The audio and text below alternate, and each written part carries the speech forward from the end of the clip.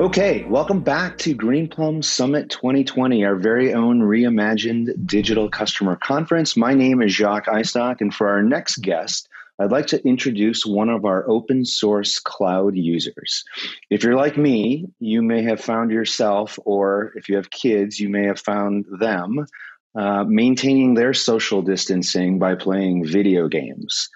Frank is here. Uh, he's joined me uh, to talk about uh, gaming mad skills with Apache, Madlib, and Greenplum.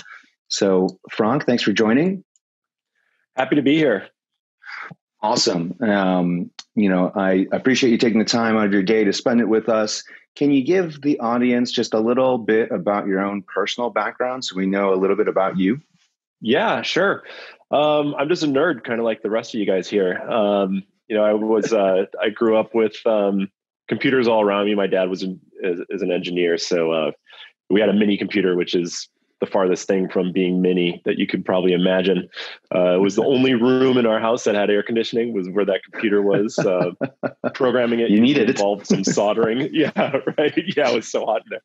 So uh, you know, it was great. Um, uh, great work with that stuff growing up. Um, I sold my first piece of software in ninth grade. Um, I got to be a developer during the dot com um, era, which was super exciting because there was so much innovation, and you know, it seemed like every day we were inventing something because there was some new problem we couldn't solve. So, um, super lucky to have been doing all that. Um, and then I spent, you know, probably about the last fifteen years or so in various architecture roles at 500, Fortune 500, Fortune 100, and Fortune 50 companies.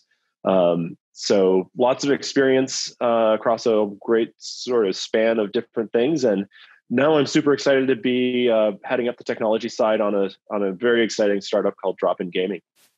All right, so that's a great um, uh, intro, and and I think unlike ninth grade, I'll take the nerd comment with a badge of honor as opposed to fighting words. That's so why don't you tell intended?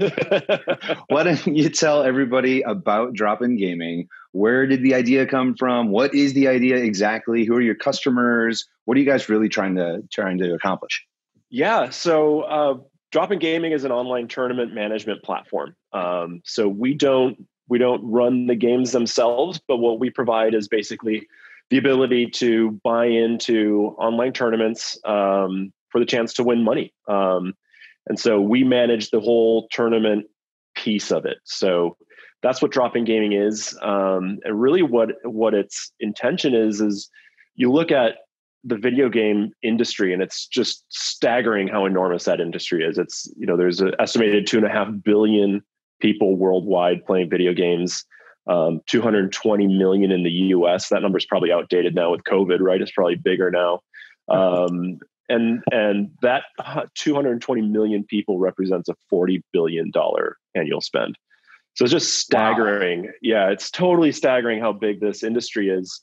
Um, but then when you actually look at who's making money playing video games, it's a tiny percentage of those gamers that can become pros. It's like trying to become a pro athlete or uh, trying to break into Hollywood or or become a rock star or something. It's it's a tiny segment of people um, that are gobbling up that you know gobbling up all that revenue. Um, so our idea really is looking at the everyday gamer and trying to provide an opportunity for them to be able to play video games for you know real money um, and that's what drop in gaming is we uh, we're targeted at gamers um, everyday gamers we're gamers ourselves. Um, Jason Atwood, our C- CEO, is um, he's a actually a pro athlete in the past, um, also a pro poker player. So he really understands sort of that uh, that side of um, the segment. And Tanner Bogart is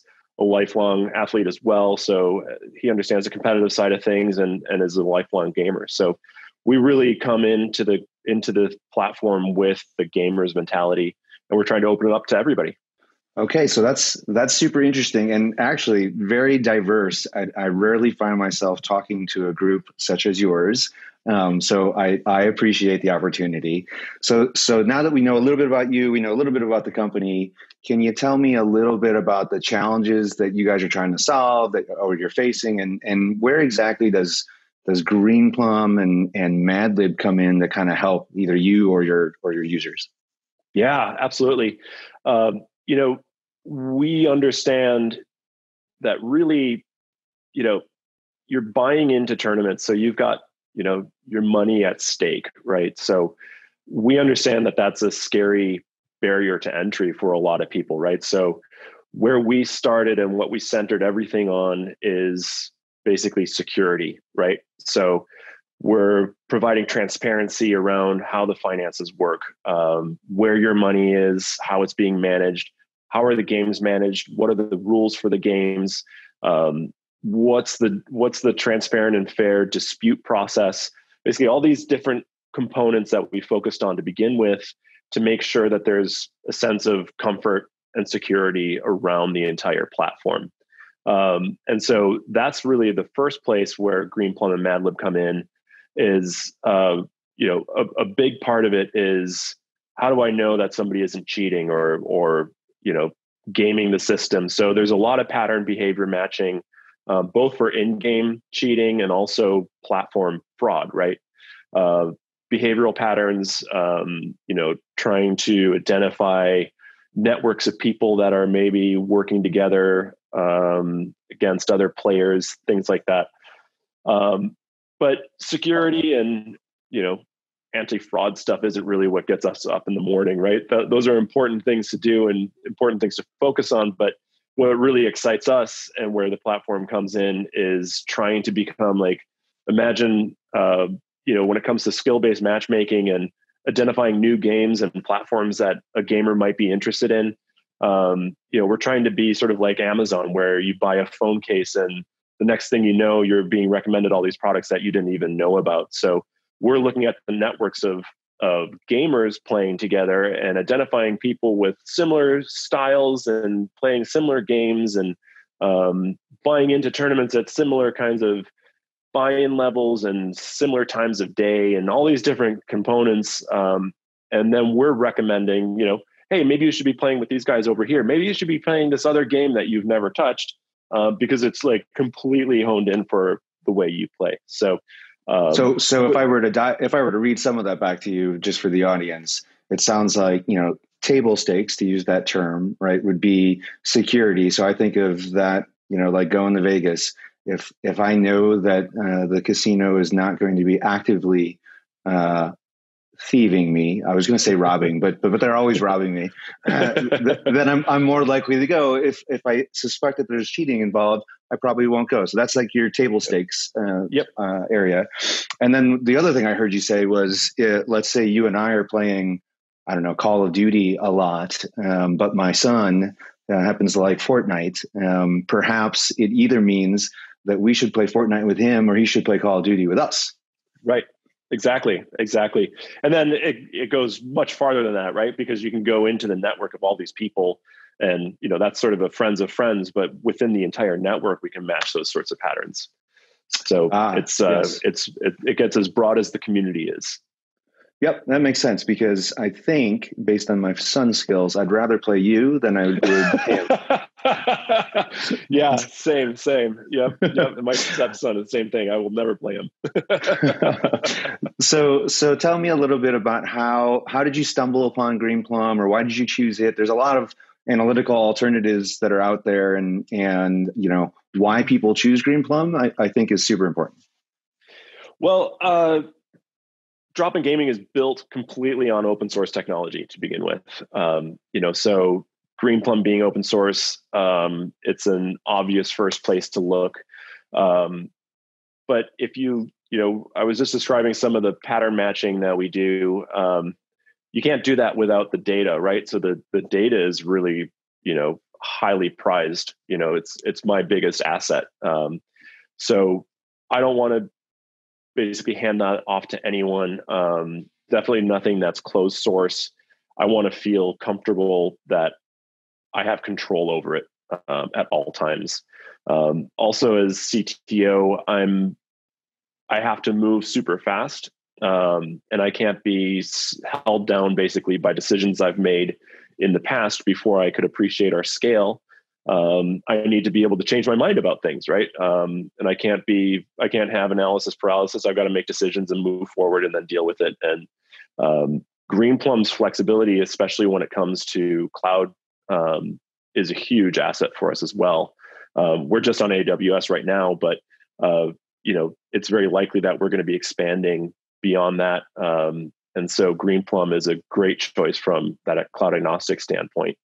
Um, and um, you know, bottom line, I already mentioned open source, but the fact that it's open source is really important from a financial standpoint too. We're a startup; every penny counts. Um, so that's it's a huge factor there too.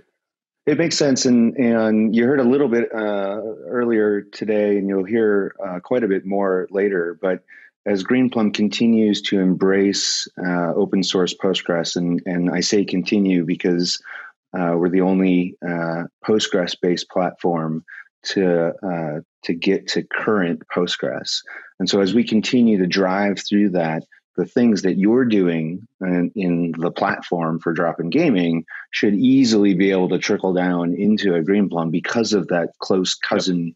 nature of it. So that's awesome. Yep. Absolutely. Yep.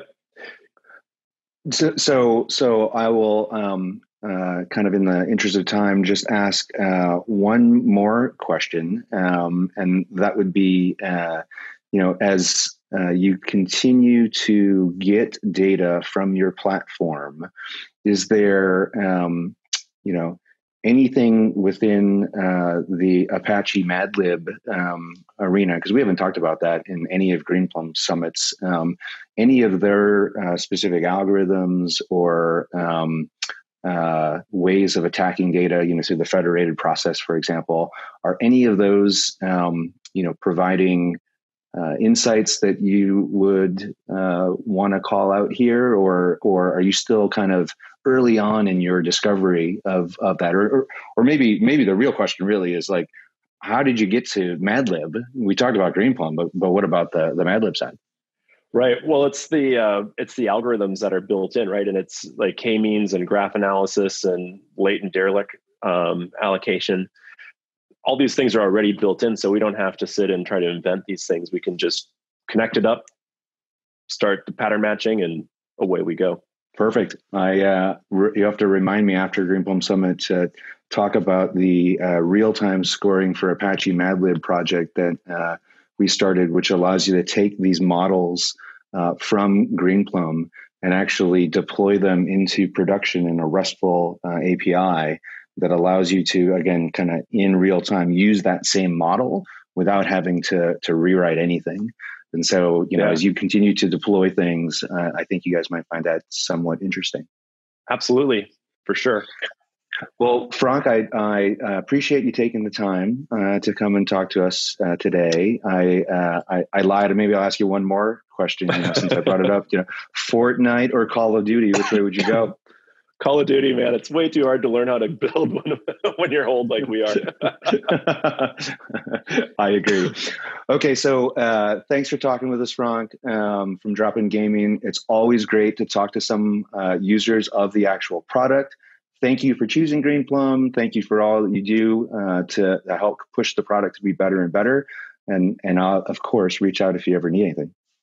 Absolutely, will do. Thanks so much.